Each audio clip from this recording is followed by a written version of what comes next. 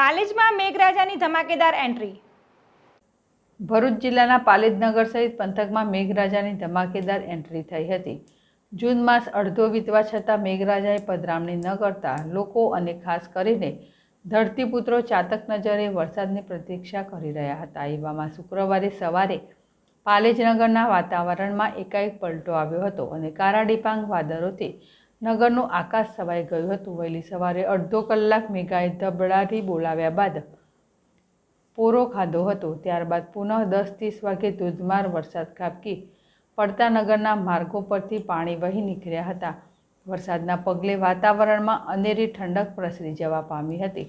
વરસેલા વરસાદના પગલે લોકોને ગરમીમાં રાહત મળી હતી. તો બીજી તરફ ચોમાસાના આગમનના પગલે હવે ધરતીપુત્રો પણ ખેતીના કામમાં જોતરાઈ જવાની તૈયારીમાં પડી ગયા છે.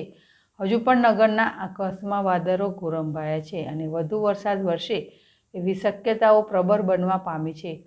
પાલેજ પંથકના ગ્રામ્ય વિસ્તારોમાં પણ વરસાદ વરસ્યાના અહેવાલો સાંભળ્યા છે.